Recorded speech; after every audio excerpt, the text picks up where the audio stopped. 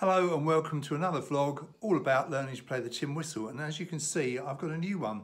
This is a rather uh, posh chieftain uh, tin whistle and it's in the key of C so it's slightly bigger than a D. If I show you a D up against it, here's my uh, Clarke Sweetone, you can see it's a bit longer and this is really lovely. It, it feels really nice. It's quite a sort of chunky piece of, I guess it's aluminium a lovely mouthpiece there. Uh, it wasn't new, so I got it kind of half new price. It's one of their older ones. It says KWL. I happen to know that that's an older model, and I think the date 090608 is probably 9th of June 2008, so it's probably about 10 years old, but it's really nice. Um, I was playing away in a manger there, and that's a good one to practice because uh, it traverses the two octaves you know, it starts in the sort of the, the easy low octave and then it jumps up into the higher octaves. And I've got my usual uh, uh, tab that you can download from my website if you want it. But bear in mind, it's my own uh, tab, my own sort of funny way of doing it, which works for me. So one thing I have noticed with this is that when I get that higher octave and I'm doing uh, uh, things like this,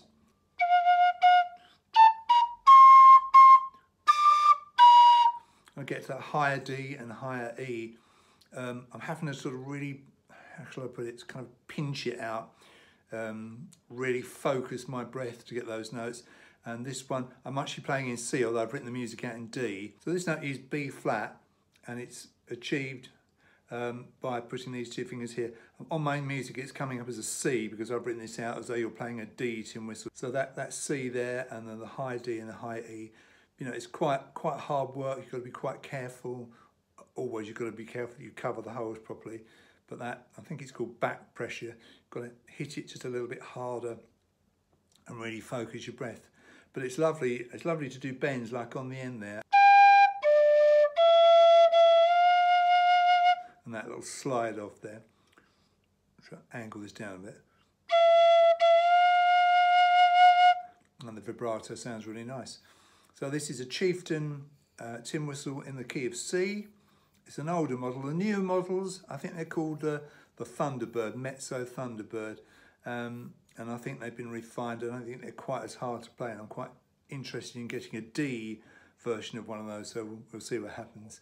Uh, but anyway, just a very quick update. I'm still practicing hard. Um, I've got another piece that I'm working on that I'll share with you when I've got it ready. But there we are. I hope you find that interesting and you'll see me in my next video.